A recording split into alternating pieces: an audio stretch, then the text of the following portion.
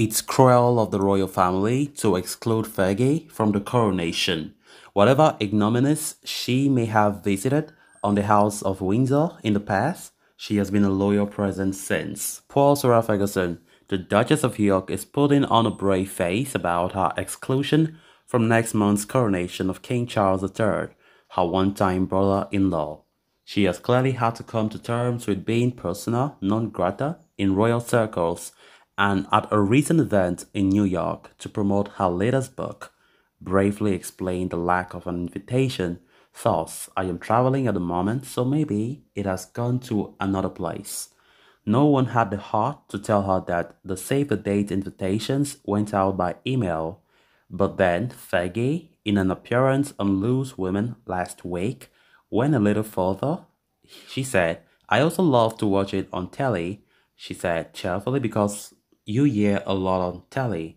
She didn't exactly say that she was NFI, but we got the message, you know. I think it, it, it it's rather mean of the royal family to exclude Fergie. Whatever ignominies she may have visited on the Windsor on the House of Windsor in the past, she has been a loyal presence since.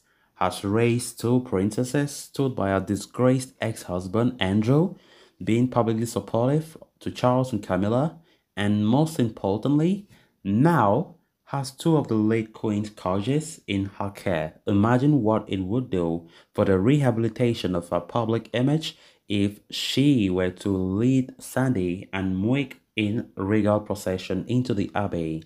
On reflection, maybe that's the reason why she wasn't invited. Either way, there will be many, many people on May 6 who will have a lesser claim to sit in Westminster Abbey than Fergie, like for instance Humza Yousaf, the leader of the SNP and the First Minister of Scotland, an avowed Republican. He has decided to give a Scottish independence march a miss in favor of the big ticket and to be there among the bubbles and the coronet. At this point, I have to check myself. I sound like someone who actually cares, which I very definitively done. I don't care who is there and who isn't. I have no opinion on whether Camilla should be queen rather than queen consort. I'm not bothered that Joe Biden isn't going or that Jonathan Dimbleby won't be commentating. I don't even have a fully formed view on whether Harry and Meghan should or shouldn't be there, and I can't find it myself to be scandalized by Camilla's politically incorrect ivory scepter. I don't mean to sound like a professional um, or a joyless Republican offended by the vast amount of public spending and the incongruous display of opulence.